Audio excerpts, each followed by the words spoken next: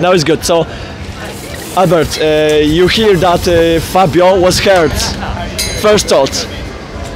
Uh, when I saw him coming from the car crying and oh, I cannot walk, I cannot walk, the correct pa- pass over me. I was like, "Hmm, no, the race is almost finished, I would say. But at the end, we, we were very lucky.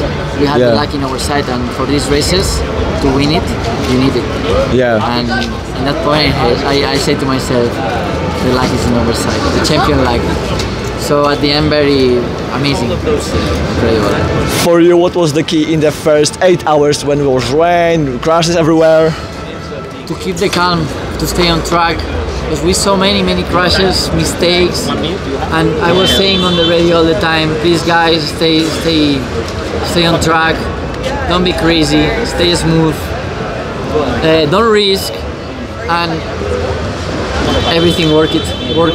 Yeah. Uh, did they inform you about the whole investigations, penalties that you have to push, especially today or this this the the part? The last three stints, when I had the penalty, I pushed like an animal. I, dri- I drove like never in my life. I had Delétraz, one of the best drivers I, I, I know here in these categories. A lot of experience.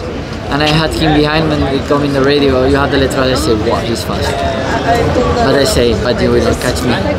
You will not catch me. And then I was faster and faster and faster and faster. I lost some time because of the traffic, but Did they ever tell you about the gaps that it was Yeah, yeah, increasing, yeah. decreasing? every lap, every lap. What's a gap? What's a gap? What's a gap? What's a gap? What's a gap?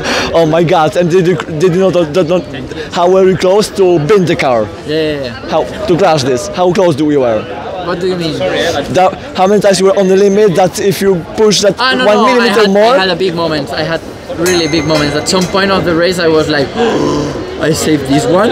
Come on. Thank you, God. no, no, I was really on the limit. Very, very on the limit. and uh, Kuba said that although you are almost second in the championship in the points, Second or first? Um, uh, my friend from Eurosport said that you're that you're not first. Maybe you're not first because you're third in points in Sebring, third in second in Spa, the seventh in Portimao Yeah, lower. Bad. but was because you risk and sometimes Yeah. you win, sometimes you lose, uh, and you're at least second. Yeah. So race by race, or you think about the Bahrain and the championship right race now? by race.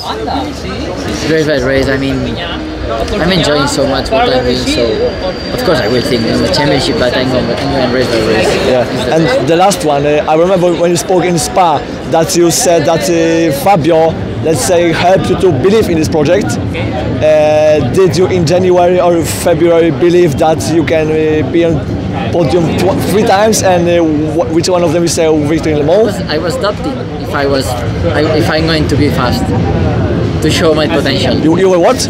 I was doubt, I, I, I had in doubt that I was, I was thinking like I will be fast, I will not. I don't know. And uh, test the car before Sebring. if there are any critics, do you think that, that you pro- proved them wrong? That you shut them up? I don't know. Well, I have to say I was one of them. You shut me fucking up. I'm just doing my job as better I can. I'm happy that you shut me up, you know? Yeah, to show the to the hypercar team that I can do it. This Well,